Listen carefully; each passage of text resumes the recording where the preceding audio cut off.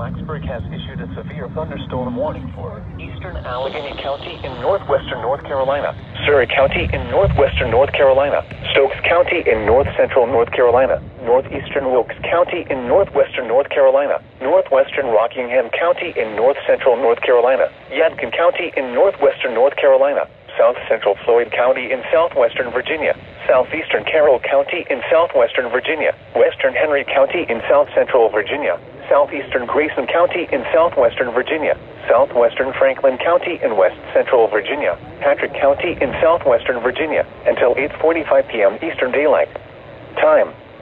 At 7:44 p.m. Eastern Daylight Time, severe thunderstorms were located along a line extending from near Mabry Mill to near Swan Creek, moving east at 25 miles per hour. Hazard 60 miles per hour wind gusts.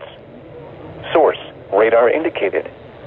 Impact expects damage to roofs, siding, and trees. Locations impacted include Mount Airy, Elkin, Fairview, Flat Rock, Yadkinville, Jonesville, and Dobson. Prepare immediately for damaging winds. For your safety, move to an interior room on the lowest floor of a sturdy building.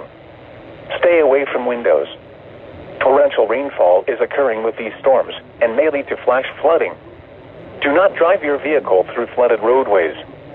When it is safe to do so, please send your reports of hail of any size, as well as reports of any wind damage, including down trees or large limbs, to the National Weather Service by calling toll free at 1 866 215 4324. Reports and pictures can also be shared on the National Weather Service Blacksburg Facebook page and on Twitter. Repeating, a severe thunderstorm warning has been issued until 8:45 p.m. Eastern Daylight Time for the following county: Wilkes, North Carolina,